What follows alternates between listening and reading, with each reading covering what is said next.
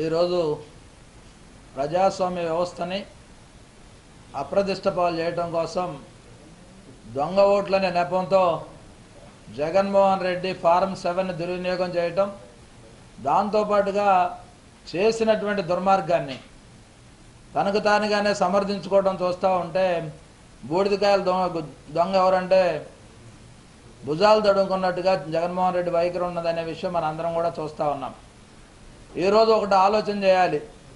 ఈ ప్రభుత్వాన్ని అప్రతిష్ట పాలు చేయటం రాబోయే రోజుల్లో తెలుగుదేశం పార్టీ ఆంధ్రప్రదేశ్లో సుస్థిర స్థానం ఏర్పరచుకున్నటువంటి తరుణంలో ఏ విధంగా అస్థిరపరచాలనే ఆలోచనతోనే ఈరోజు ప్రత్యేకంగా ఫామ్ సెవెన్ ఎపిసోడ్ని తీసుకొచ్చి ఎందుకంటే కేవలం తెలుగుదేశం పార్టీ నియోజకవర్గాల్లో గెలిచే నియోజకవర్గాల్లో మాత్రమే ఫామ్ సెవెన్ని ఈరోజు అప్లై చేసి దాన్ని సమర్థించుకోవడం అనేది జగన్మోహన్ రెడ్డికి ఈరోజు సరైంది కాదు. జగన్మోహన్ రెడ్డిని ఒకటే అడుగుతా ఉన్నాం. నీకు దమ్ము ధైర్యం ఉంటే ప్రజల్లోకి వెళ్ళండి. ప్రజలకు మంచి పనులు చేయండి. ప్రతిపక్ష పాత్ర సమర్థవంతంగా వహిస్తే మీకు ఆ భయం అక్కర్లా. ఎందుకంటే మీరు అసెంబ్లీని కూడా ఎగ్గొట్టి అసెంబ్లీకి రాకుండా ప్రజాస్వామ్యం పట్ల కానీ ప్రజల పట్ల కానీ మీకు ఎటువంటి వైఖరి ఉందనేది ప్రజాస్వామ్యంలో ఉన్న ప్రతిపక్ష నాయకుడిగా మీరు విఫలం చెందిన సందర్భంలోనే ఆ విషయం వెల్లడవుతా ఉంది. దాంతోపాటుగా ఈరోజు చూస్తూ ఉన్నాం. చంద్రబాబు నాయుడు గారి ప్రభుత్వాన్ని ఏ విధంగా అస్థిరపరచాలి ఏ విధంగా బలహీనపరచాలనే ఆలోచనతోనే ఒక పక్క అసదుద్దీన్ ఓవైసీ అదేవిధంగా మరో పక్క కేటీఆర్ ఇంకో పక్క జగన్మోహన్ రెడ్డి మరో పక్క నరేంద్ర మోడీ అదేవిధంగా సత్యమూర్తి లాంటి వాళ్ళందరినీ కూడా దింపి ఈరోజు ఐటీకి పెద్దపేట వేసి ఆంధ్రప్రదేశ్లోనే ఐటీని పరిచయం చేసినటువంటి వ్యక్తిగా చంద్రబాబు నాయుడు గారు ఉన్నటువంటి పరిస్థితుల్లో తెలుగుదేశం పార్టీ సభ్యత నమోదులో కానీ తెలుగుదేశం పార్టీ ప్రజల సమస్యల్లో కానీ తెలుగుదేశం పార్టీ ప్రభుత్వం ప్రజలకు కావాల్సినటువంటి అనేక సంక్షేమ కార్యక్రమాల్లో ఆధార్ను అనుసంధానం చేసుకొని చేస్తూ ఉంటే ఈరోజు ఏదో జరిగింది ప్రజలను ఏదో విధంగా కనిపించాలని ఒక ఆలోచన అనేది దుర్మార్గంగా చేస్తూ ఉన్నారు. వాళ్ళందరికీ ఒకటే మనం చేస్తూ ఉన్నాం. ఏదైతే బ్లూ ఫ్రాగ్ అనే ఒక సంస్థ ఉందో అది రెండు వేల ఆరు రెండు వేల తొమ్మిదిలోనే ఆ రోజు వైఎస్ రాజశేఖర రెడ్డి ప్రభుత్వానికి అనుకూలంగా తనకు కావాల్సినటువంటి సమాచారాన్ని సేకరించడం కోసం ఆ కంపెనీతో ఒప్పందం చేసుకున్నటువంటి పరిస్థితి మనందరం కూడా చూస్తూ ఉన్నాం. వాస్తవాలను మరుగుపరిచి ఈరోజు అవాస్తవాలతో ప్రచారం చేసి ఏ విధంగా తెలుగుదేశం ప్రభుత్వాన్ని అస్థిరపరచాలన్న ఆలోచనని తీవ్రంగా ఖండిస్తూ ఉన్నాం. ఒక పక్క మనం మొన్న చూసాం ఏదో వస్తా కాసుకొని ఒక పక్క అసదుద్దీన్ ఓవైసీ అదేవిధంగా కేటీఆర్ నేను కూడా అనుకున్నా రిటర్న్ గిఫ్ట్ అంటే వీళ్ళు సంస్కారవంతంగా వచ్చేసి ప్రజా సమస్యలు వెలుగు తీసుకొస్తారంటే ప్రభుత్వాన్ని ఎరకాటంలో పెట్టడమే రిటర్న్ గిఫ్ట్ అనుకుంటా ఉన్నారు. ఈ రిటర్న్ గిఫ్ట్లు ఇక్కడ భయపడే వాళ్ళు ఎవరు లేరు? చంద్రబాబు నాయుడు గారి ప్రభుత్వం సంక్షేమం అభివృద్ధిలో నూటికి తొంభై శాతం పైగా సంతృప్తికరంగా ఉన్నటువంటి పరిస్థితుల్లో ఈ ప్రభుత్వాన్ని అస్థిరపరచాలనుకోవటం కేవలం భ్రమే. ఈరోజు ఐటీ డ్రామా ఆడుతూ ఉన్నారు. మరోపక్క ఓటర్ లిస్టులో డ్రామా ఆడుతూ ఉన్నారు. మరోపక్క ఏదో జరిగిందని చెప్తా ఉన్నారు.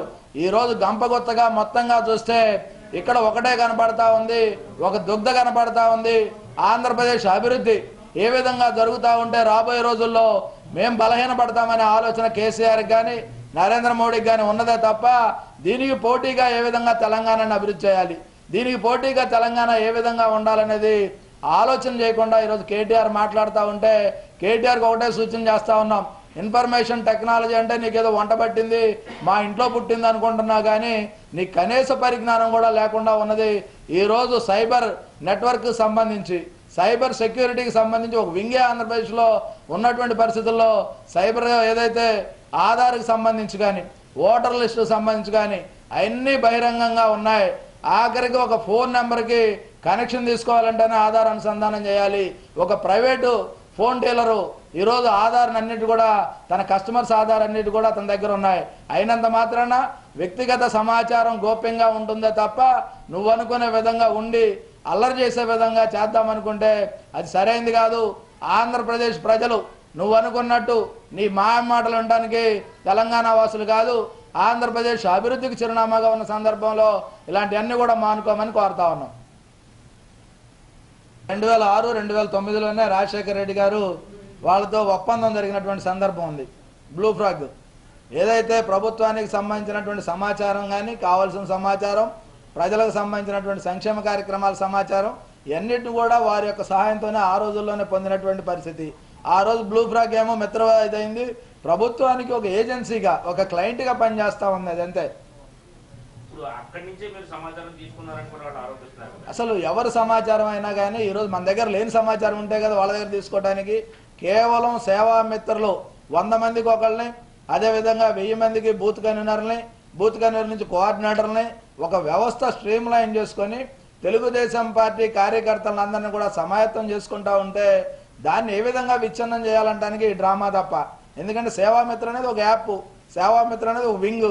ఆ సేవామిత్రని ఈరోజు ప్రభుత్వ కార్యక్రమాలు ప్రజలకు చేరవేసేదానికి అనుసంధానంగా తెలుగుదేశం పార్టీ ఏదైతే మొదటి నుంచి కూడా ఒక ఇన్ఫర్మేషన్ టెక్నాలజీ వాడుకుంటూ వెళ్తున్నటువంటి సందర్భంలోనే సేవామిత్ర యాప్ అనేది ఉంది.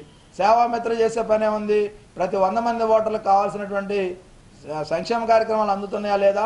పార్టీ పరంగా ఇంకేమైనా అందాలా? వారికి ఏం చేయాలనేది ఈ రోజు నుంచి కాదు. అది ఎప్పటి నుంచో ఉంది ఎన్నికల కోసం కూడా కాదు. ఎందుకంటే మొదటి నుంచి మనం చూస్తే సభ్యత్వాల నమోదును కూడా కంప్యూటరీకరణ చేసింది మొట్టమొదటిగా భారతదేశంలో చంద్రబాబు నాయుడు గారి విషయం కూడా గుర్తు చేసుకోవాల్సినటువంటి అవసరం ఉంది.